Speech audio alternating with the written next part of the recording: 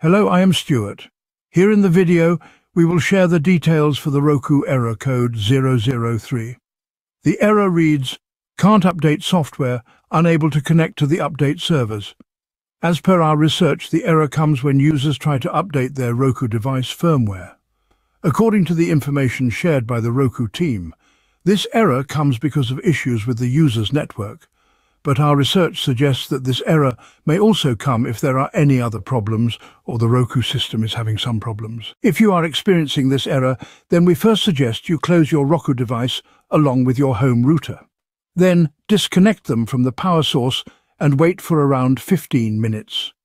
After waiting for 15 minutes, Restart your device along with the network. Once your devices are restarted, make sure to disconnect all the other connected devices over your home network, except your Roku device, and then check if the error still comes.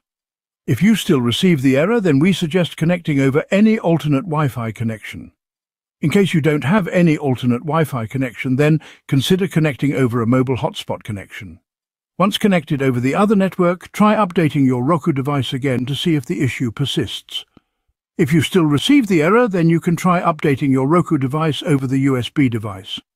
If you don't know how to do this, then you can check out the guide shared in the video's description.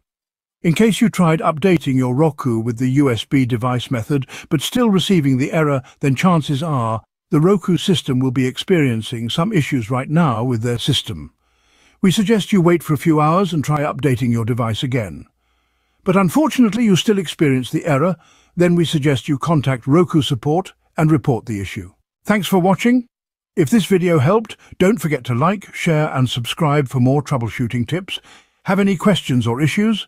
Drop them in the comments below. See you in the next one.